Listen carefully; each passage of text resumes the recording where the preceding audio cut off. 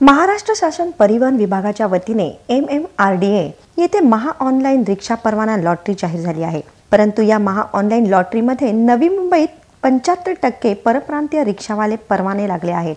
असा गौप्य स्फोट गुरुवारी शिवसेनेकडून करण्यात आला आहे. त्यामुळे स्थानिक मराठी व ज्यांना खरोखरच गरज आहे असे रिक्षा चालक हे रिक्षा परवान्यांपासून वंचित राहिले आहेत. परप्रांतीय बेकायदेशीर रिक्षा चालकांच्या पेपरशी पूर्ण शहानिशा करूनच त्यांना पात्र उमेदवार म्हणून घोषित करावे. परंतु जर बोगस पेपर्स आढळल्यास त्या रिक्षा चालकांवर कडक कारवाई करावी अशी मागणी शिवसेना पदाधिकाऱ्यांच्या अधिपत्याखाली धर्मवीर रिक्षा चालक सेनेकडून करण्यात आली. बुधवारी मोर्चा काढून रिक्षा चालकांनी या संदर्भात आवाज उठवला.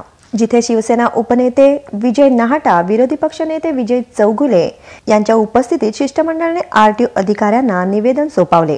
नहीं, हम लोगों ने उनको ये बताया कि जिस लोगों का चयन उन्होंने किया है और जिस कागज़ के आधार पर चयन किया है तो बाहर के लोगों ने बोगस डॉक्यूमेंट बना के उनका चयन किया गया है।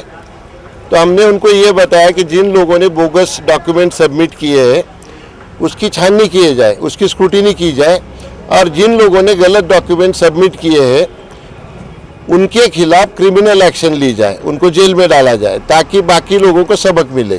दरमियान दरम्यान आरटीओने जर मागण्यांची गांभीर्याने दखल घेतली नाही तर भविष्यात तीव्र आंदोलन करण्याचा इशारा यावेळी देण्यात आला. ऐसा पाया गया कि परप्रांतीय रिक्शा चालक है जिनके लाइसेंस बैच नहीं है दो दो, तीन तीन दिन पहले बीस बीस, पच्चीस पच्चीस हज़ार रुपये देके एजेंट लोगों, किसी एजेंट लोग को पकड़ के बीस, पच्चीस हज़ार रुपये देके लाइसेंस बैच निकाला उनको ऑनलाइन में ऑनलाइन द्वारा परमिट मिला है। लेकिन जो यहाँ के स्थानिक है, बीस बीस, तीस बीस, पच्चीस साल पुराने लाइसेंस बैच उनके उनके पास है।